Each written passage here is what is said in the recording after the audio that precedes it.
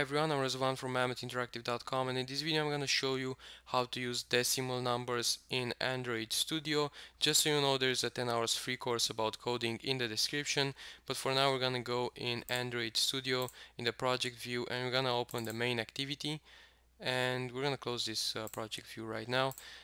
And in order to implement decimal numbers in Android Studio we have to use this keyword called double and then we can go and uh, give the name for our variable. In this example, I'm going to give you um, the example of uh, online store in this video. And let's say price let's say we have some items and the price is displayed in CAD in Canadian dollars and we want to have the price in USD okay in order to do that we need to have um, the conversion rate. So we're gonna declare a constant. So let's say final double.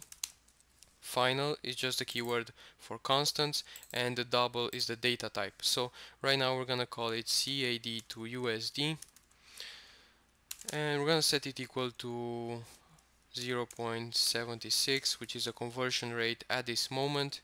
And let's say the price in CAD is 9 point something but just so just to make sure if I put just nine dollars it's gonna give me an error because it says it it was found uh, integer and they want uh, a double variable. So basically I'm gonna put if you want to have it 9 then we have to put 9.0 and you see is no no error right here.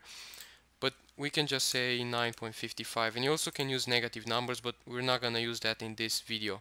So the price in USD is gonna be equal to the price in CAD and it's going to be multiplied by CAD to USD which is a conversion rate. And we're going to use a toast message to display this on the screen. So notice I just type toast and then I hit enter and it just sets up all the parameters for us. And I'm gonna put our string over here which we want to display on the screen.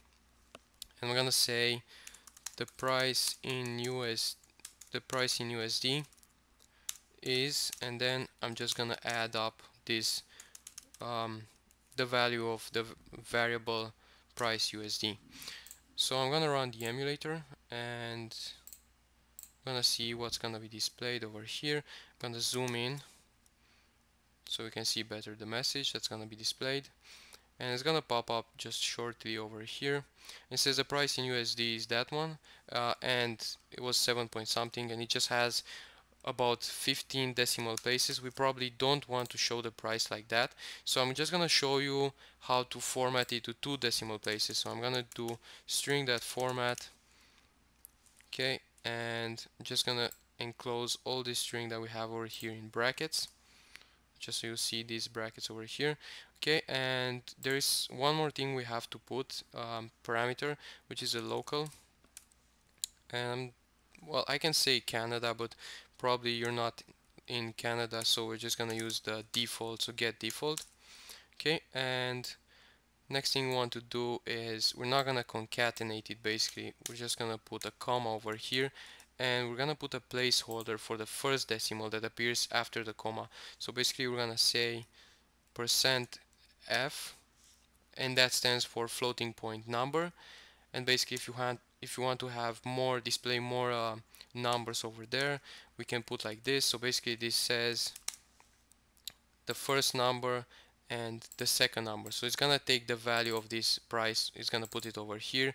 And let's say we have another one let's say 2 2.45 and it's gonna put this number over here in this place. But for now I'm just gonna use one um, one of these uh, placeholders I'm just gonna put 0.2 to specify that we want only two decimal places. So right now if I just run the emulator again you're gonna see the price is gonna be displayed with two decimal places.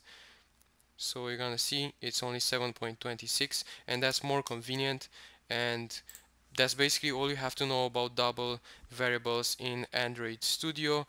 You can go on mammothinteractive.com to see our projects and if you haven't checked it already, go and watch that 10 hours free course about coding. And thank you very much for watching this video.